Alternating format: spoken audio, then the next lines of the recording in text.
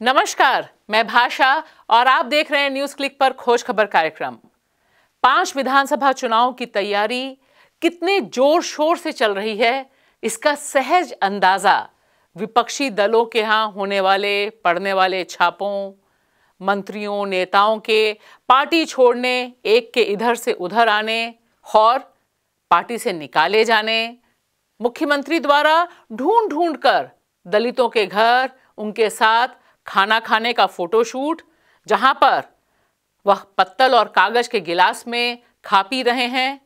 इस तरह की जो कैचिंग हेडलाइंस हैं, जो दिन रात हमें आपको दिखाई जाती हैं, उससे अंदाज़ा लग जाता है कि चुनाव किस तरह से तैयार हो रहा है, चुनावी माहौल किस तरह से गरमाया हुआ है। ऐसे में ध्यान देने की बात यह है कि बहुत सी चीज़ें हमें दिख रही हैं बहुत सी चीज़ें हमें दिखाई जा रही हैं और कहने की ज़रूरत नहीं कि इन दोनों से ज़्यादा वे कहानियाँ, अंतर कहानियाँ हैं जो दबाई जा रही हैं, जो हम तक, आप तक, मतदाताओं तक पहुँचने नहीं दी जा रही हैं। इसलिए राजनीति के बारे में बहुत पुरानी कहावत है कि जो दिख रहा है, वह वैसा नहीं है। जो लोग जो बाहर से दिखाई देता है उसे वैसे ही समझते हैं। ऐसे लोग, उनकी राजनीतिक दृष्टि, ऐसे पत्रकार, उनकी पत्रकारिता की दृष्टि, निश्चित तौर पर या तो नासमझी भरी होती है या वे मतदाताओं को नासमझ बताने की, जताने की कोशिश करते हैं। खबर की खोज, सच की पड़ताल, जनपक्ष नज़रिया, बेखौफ, बेबाक सत्ता का झूठ, बेनकाब। आग में तपी पत्रकारिता दागती है, सवाल दर सवाल।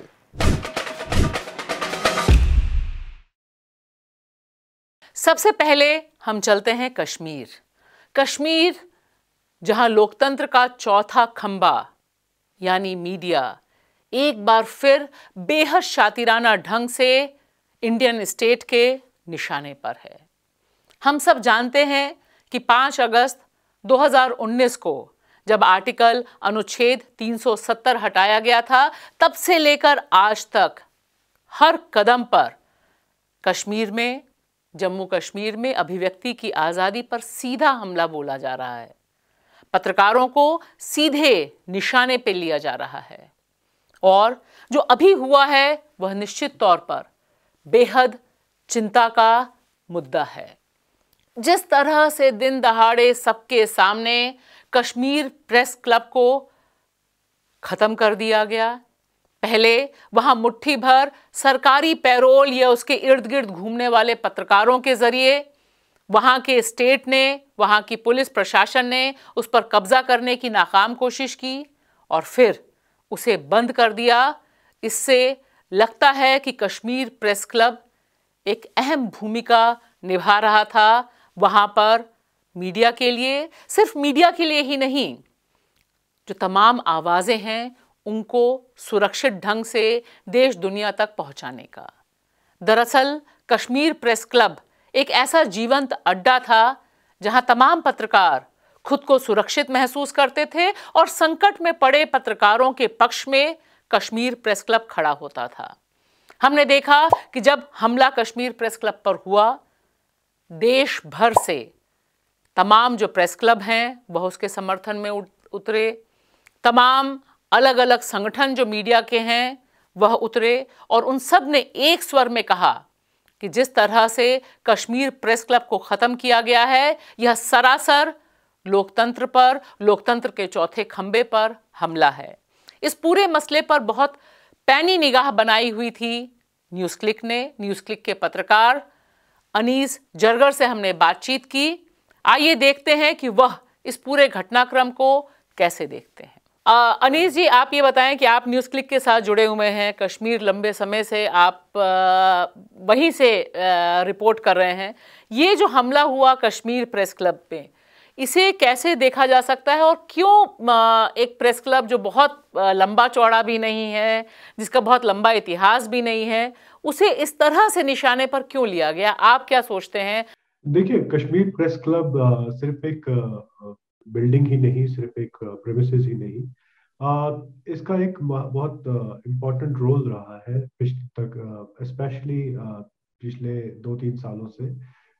जब अगस्त पाँच को एब्रोगेशन ऑफ़ आर्टिकल 370 और 35 ए हुआ तो एक अनप्रेसिडेंटेड क्रैकडाउन लॉन्च हुआ कश्मीर में, जिसमें सारा इंटरनेट मोबाइल सर्विसेज़ तमाम के तमाम जगह रेस्टोरेंट्स कैफेज जो भी यहाँ पे बिज़नेस एस्टेब्लिशमेंट थे, दफ्तर थे, सब कुछ बंद रहा और पूरा, पूरी जो लाइफ थी वो ठप हो गई। और इस टाइम पे जर्नलिस्ट्स के लिए, पत्रकारों के लिए काम करना भी बहुत मुश्किल हुआ।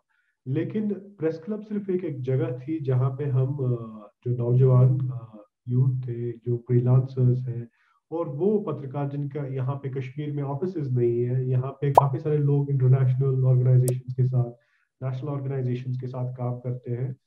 तो उनके लिए, उन उनके पास ऑफ़िस नहीं है तो वो वहाँ पे बैठ के काम कर पाते थे, और वहाँ पे एक दूसरे से बात होती थी, तब जाके कोऑर्डिनेशन हो सकती, होती थी। उसी हिसाब से जर्नलिज्म भी आगे बढ़ा उस टाइम पे। देखिए कश्मीर प्रेस क्लब बाकी प्रेस क्लब जो दिल्ली में हमने देखे, जो जम्मू में है या बॉम्बे में है, उन प्रेस क्लबों से मुख्तलिफ़ इसलिए है क्योंकि ये सिर्फ़ एक जगह ही नहीं स्पेस ही नहीं, ये एक इंस्टीट्यूशन हो, तैयार हो रहा था पिछले दो सालों में, जहाँ पे ये एक काफ़ी वोकल बॉडी जो इलेक्टेड बॉडी थी, जो सहाफियों की, पत्रकारों की जो यहाँ पे प्रेस फ्रीडम था, उसके, उसको, उसके लिए एडवोकेसी करती थी। क्योंकि पिछले हमने देखा है, पिछले दो तीन सालों में जो कदगने हैं, जो अथॉरिटीज का यहाँ पे रोल रहा है, सहाफियों को काम करने से काफ़ी उसमें अड़चने डाली जा रही हैं। कहीं को समन किया गया पुलिस स्टेशन कहीं को पे कंट्रोवर्शियल लॉज लाइक यूएपीए उनके अंदर बुक किया कहीं आज तकरीबन दो दिन पहले एक जर्नलिस्ट को पीएसए लगाया गया और उसको एक जेल में अब भेज दिया है कश्मीर वादी से बाहर। जैसे जैसे ही उनको बेल मिली गुल को पीएसए लगा के वापस उनको डाल दिया।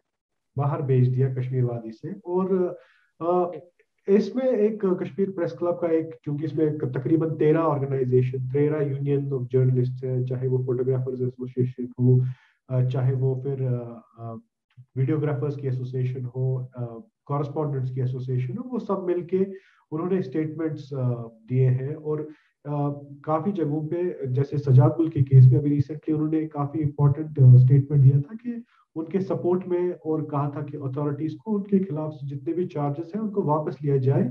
वो क्योंकि उनको सिर्फ़ बुक किया गया है सिर्फ़ अपने काम पे और जर्नलिज्म पे। उन्होंने कोई लॉ नहीं ब्रेक किया, उन्होंने कोई क्रिमिनल एक्टिविटी नहीं की। तो ये एक बहुत वोकल बॉडी थी जो critical of the governments actions against journalism जो उन्होंने पिछले दो सालों में की थी तो उस पर बात करती थी। इसी संदर्भ में पत्रकार सज्जाद गुल का ज़िक्र करना बेहद ज़रूरी है। तेईस साल के हैं पत्रकार सज्जाद गुल और पिछले कुछ समय से पूरी की पूरी स्टेट मशीनरी ने उन्हें निशाने पे लिया हुआ है। जैसे ही उन्हें जम्मू कश्मीर जिला कोर्ट ने 15 जनवरी को पुराने मामले में जमानत दी। पुलिस ने उनके ऊपर पब्लिक सेफ्टी एक्ट लगा दिया। परिवार वाले सदमे में हैं, क्योंकि वह मान के चल रहे थे कि उनका जो बच्चा है, उनका जो युवा पत्रकार है, वह बाहर आएगा, उसकी तैयारियाँ थी। लेकिन कश्मीर के लिए इस तरह से पत्रकारों को निशाने पर लेना एक पुरानी रवायत है जो लगातार बढ़ती जा रही है। हमले लगातार बहुत तीखे होते जा रहे हैं। आइए मिलकर चलते हैं उत्तर प्रदेश की सरजमीन पर। यहाँ पर भ्रम और दुविधा बहुत तगड़ी है क्योंकि दांव पर बहुत कुछ लगा है। 2022 में जो होगा, उसका सीधा असर 2024 के आम चुनाव पर पड़ेगा। जिस तरह से यहाँ पेचोखम है, भाजपा के खेमे में भी जिस तरह से खलबली है जिस तरह से एक तरफ़ योगी आदित्यनाथ हैं, दूसरी तरफ़ मोदी, अमित शाह और उनकी पूरी की पूरी ब्रिगेड है। इनके बीच के जो अंतरकला हैं और उसके परिणाम स्वरूप जिस तरह की बेचैनी, जिस तरह की आवाजाही हमें दिखाई दे रही है, खास तौर से पिछड़े समुदाय के जो नेता हैं, वह जिस तरह से भाजपा का दामन छोड़कर समाजवादी पार्टी तक पहुँचे हैं, उससे एक बात बहुत साफ़ हो गई है। कि सब कुछ भला नहीं है। जिस तरह से आक्रोश फूटा है, जिस तरह से लोगों ने पार्टी छोड़ी है, उससे यह परसेप्शन यह अवधारणा ज़रूर गई है कि ऐसा नहीं है कि योगी और मोदी की जितनी भी संयुक्त फ़ोटो आ जाएँ, वे सब एक यह बताने में कामयाब नहीं हो पाई हैं कि भाजपा में जो चल रहा है, वह सब सही है। कितना गड़बड़ है, ज़मीन पर कितना असर है, यह तो आने वाले समय में ही पता चलेगा। क्योंकि साथ ही साथ हमें यह भी दिखाई दे रहा है कि पश्चिमी उत्तर प्रदेश में, जहाँ किसानों का आंदोलन बहुत तीखा रहा, उसकी धार बहुत तीखी रही, उसे मैनेज करने के लिए सारा ज़ोर लगा दिया गया है।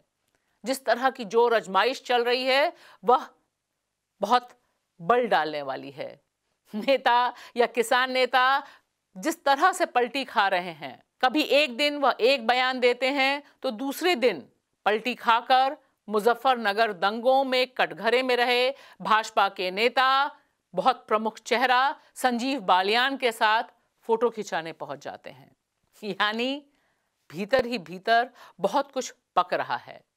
और वहीं हमें दिखाई देता है कि मुख्यमंत्री योगी आदित्यनाथ लगातार हिंदू मुसलमान का राग अलापे जा रहे हैं।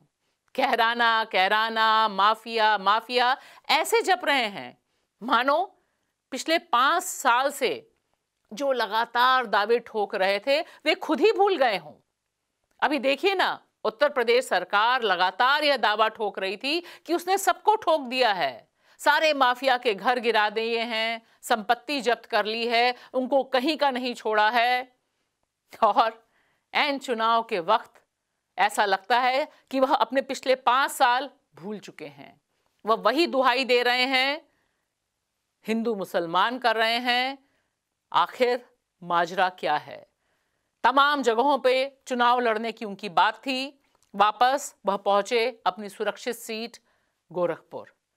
आइए चलते हैं योगी जी के गृह नगर वहाँ के वरिष्ठ पत्रकार मनोज सिंह से जानने के लिए कि भीतर ही भीतर क्या खिचड़ी पक रही है, क्या कुछ चल रहा है, अभी हालात क्या हैं? न्यूज़ क्लिक में बहुत बहुत स्वागत है मनोज जी आपका। हम अपने दर्शकों को बता दें कि मनोज जी उसी इलाके से आते हैं जहाँ से योगी जी वापस पहुँचे हैं चुनाव लड़ने के लिए गोरखपुर से और बहुत वरिष्ठ पत्रकार हैं, बहुत दौर के चुनाव देख चुके हैं। न्यूज़ क्लिक में आपका स्वागत है मनोज। आपसे जानना चाहेंगे कि इधर जो आवाजाही बढ़ी है समाजवादी पार्टी और भाजपा के भीतर इसका कितना असर है और आखिर योगी को वापस क्यों गोरखपुर आना पड़ा? देखिए, ये दोनों एक दूसरे से जुड़े ही सवाल है कि अगर ये इतने बड़े संख्या में पिछड़ों का आवाजाही मैं इसको आवाजाही नहीं करता, बल्कि कहता हूँ कि बीजेपी के अंदर पिछड़ों का विद्रोह हुआ है। और इसकी भू जो पृष्ठभूमि है, इसकी जो कहानी है, वो 2017 के चुनाव के बाद जब योगी आदित्यनाथ को मुख्यमंत्री बना दिया गया, तभी लिख दी गई थी। और वो अब एक उसका प्रतिफलन आज देखने को मिल रहा है कि अगर यानी आप कह यानी आप कहना चाहते हैं जो ठाकुरों की सरकार वाला पूरा कॉन्सेप्ट गया नीचे तक कि ठाकुरों की सरकार है तो उसके खिलाफ पिछड़ी जातियों ने ये विद्रोह किया है? जी जी यही यही मैं कहना चाह रहा था कि उसी दिन जिस दिन उन्होंने मुख्यमंत्री के रूप में शपथ ली उसी दिन जो पिछड़े वर्ग के नेता अति पिछड़े वर्ग के नेता बीजेपी में गए थे, उनको एक गहरी निराशा हुई। लेकिन इसके बाद भी उनको मतलब उनको केंद्र में लाने की कोई पहल नहीं हुई नेतृत्व द्वारा। और वो धीरे धीरे बढ़ता ही गया। यही कारण है कि देखिए कि दो साल बाद दो हज़ार उन्नीस के लोकसभा चुनाव में सबसे पहले भारतीय सुहेल देव भारतीय समाज पार्टी के अलग हुई ओम प्रकाश राजभर अलग हुए। और वो ये, और उसके बाद विधानसभा में के अंदर सौ से अधिक विधायक धरने पर बैठ गए थे। ये एक अभूतपूर्व घटना थी, लेकिन उसको दबाया गया जो सी एनआरसी आंदोलन को बहुत ही क्रूरतापूर्वक कुचल देने के नाते वो घटना जो है, वो दब गई। ठीक उसी समय हुई थी 2019 के दिसंबर के आसपास। तो उस समय भी भाजपा नेतृत्व ने इसको संभालने की कोई कोशिश नहीं की। और फिर जो पंचायत चुनाव हुए हैं तो उसमें ये खुल कर दिख गया कि पंचायत चुनाव जो कि बीजेपी बहुत ही व्यवस्थित ढंग से लड़ रही थी। मुझे याद है कि बिहार का चुनाव होने के तुरंत बाद राधा मोहन सिंह को यूपी का प्रभारी बनाया गया था और उनके नेतृत्व में पंचायत चुनाव की तैयारी शुरू हो गई थी। दूसरी तरफ़ जो विपक्षी दल थे, वो इस तरह से पंचायत चुनाव को गंभीरता से नहीं ले रहे थे। तो सबसे व्यवस्थित ढंग से लड़ने के बावजूद पंचायत चुनाव बीजेपी पीछे चली गई और सपा नंबर वन पे आ गई। तो उस समय पंचायत चुनाव में भी पिछड़ों की एकता और पिछड़ों का ज़्यादातर वोट सपा की तरफ़ दिखा था। यहाँ तक कि कुछ दलितों का, का भी एक वर्ग ने सपा को समर्थन किया था। इसी के वजह से है कि बिना कोई तैयारी के बावजूद वो 800 से ज़्यादा जिला पंचायत सदस्य चुनाव जो उनके जीत गए थे। लेकिन इस और वो आपको याद होगा कि उसी के तुरंत बाद भाजपा में एक नेतृत्व परिवर्तन को लेकर एक चर्चा छिड़ गई थी और तमाम उसको लेकर बैठ और एक रिपोर्ट भी जो यूपी से गई उनके संगठन मंत्री बी एल संतोष के द्वारा उस समय भी तमाम नेता जो है उन्होंने उस समय भी बहुत सारी जगह रिपोर्ट आई थी और लिखी गई थी और बात भी हुई थी कि यूपी के तमाम जो मंत्री हैं, विधायक हैं और नेताओं ने असंतोष व्यक्त किया है जो इस समय नेतृत्व है योगी आदित्यनाथ का। दोस्तों, जो दिखता है वह होता नहीं और जो होता है वह दिखता नहीं। प्रधानमंत्री नरेंद्र मोदी जी के साथ आजकल अक्सर कुछ ऐसा ही होने लग गया है। अब देखिए ना, वर्ल्ड इकोनॉमिक फोरम में भाषण देते देते संभवतः उनका टेलीप्रॉम्प्टर दगा दे गया। दुख और परेशानी इस बात की है कि वह अपने आप एक शब्द भी सही सही नहीं कह पाए जब टेलीप्रॉम्प्टर दगा दे गया। टेम्परामेंट, हम भारतीयों का टैलेंट, जिस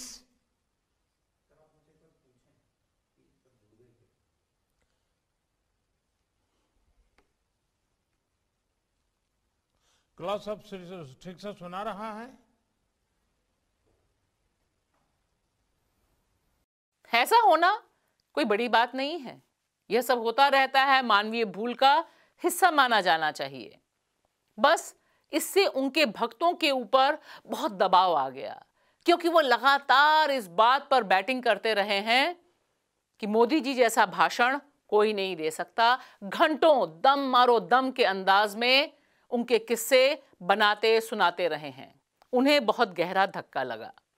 तो देखिए डैमेज कंट्रोल करने के लिए सोशल मीडिया और ट्वीट पर उनकी भक्तों की टोली कैसे मैदान में कूदी। आपको स्क्रीन पे दिखाई दे रहा होगा इस समय ट्वीट का अंबार बहुत ज़बरदस्त है। एक ही फैक्ट्री से बनकर आए ये ट्वीट एक ही ट्वीट कोमा फुल स्टॉप सब वैसे ही वैसे। और सारे लोग एक साथ बता रहे हैं कि यह मोदी जी की गड़बड़ी नहीं, यह कुछ और मामला है। बस जरा सा मज़ा किरकिरा हो जाता है। तारीफ़ उस तरह से नहीं बाँध पाते जिस तरह से पहले बांधते रहते हैं। अब इसका कनेक्शन अगर आप सीधे जोड़िए कि पंजाब में जब मोदी जी ने दुहाई दी कि उनके ऊपर जान का खतरा हो गया, वहाँ पर भी वह भूल गए थे। वह पहचान नहीं पाए थे शायद कि उन्हें उनके पार्टी के कार्यकर्ताओं ने ही घेर लिया था।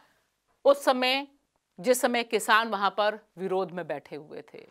और उसके बाद सारा का सारा नरेशन चलाने की कोशिश की गई थी कि प्रधानमंत्री के खिलाफ किसान थे।